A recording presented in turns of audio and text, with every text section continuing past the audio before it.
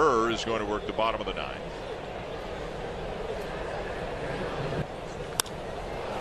Now Alejandro Kirk sends one to deep right, and it's off the wall. And it's going to bounce past Kepler back in towards the infield, and that's going to allow Kirk to get to second base. Boy, the Blue Jays have put up some big numbers in distance in this inning. Seriously.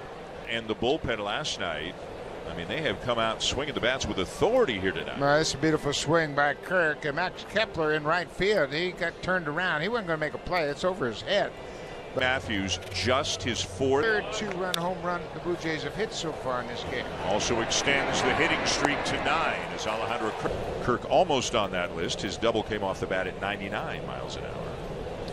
Find out his last time. Off the glove of Tonkin. And Kirk's going to beat it out. No throw. As the inning continues, and the Blue Jays now have the bases loaded. Yeah, Willi Castro, the shortstop, uh, the ball was going to get past the pitcher. Watch the shortstop.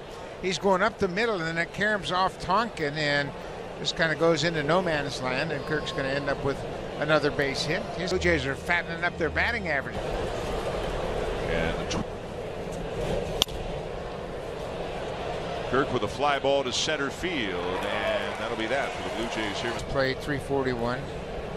Judge 331, and now Vladdy up to 324. Certainly got what it needed.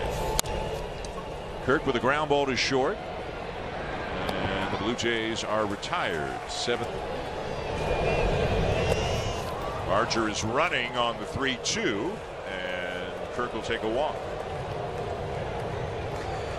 I was playing in a game in winter ball when Ellie Rodriguez was catching, and he ran.